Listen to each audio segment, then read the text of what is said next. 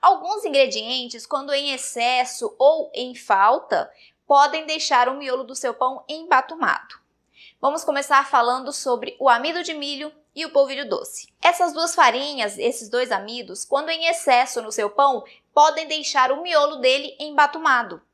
Porque essas duas farinhas e também a fécula de batata, eles têm o, a característica de ficarem gomoso, de formarem uma goma dentro da massa. Quando eu tenho esses ingredientes em excesso no meu pão, eu corro o risco de esse pão ficar com o miolo embatumado, um miolo mais gomoso, pegajoso.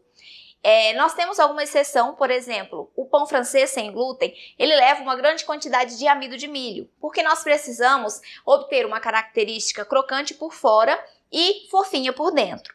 Entretanto, a, as receitas de pães franceses que são equilibradas, que uns, os outros ingredientes equilibrados de maneira que neutralizem essa gomosidade fornecida pelo amido de milho, nós vamos ter então o pão francês que não fica com o miolo embatumado, porque nós temos um balanço dos demais ingredientes. Então, nesse caso, mesmo com uma grande quantidade de amido de milho, eu não vou ter o miolo embatumado, tá?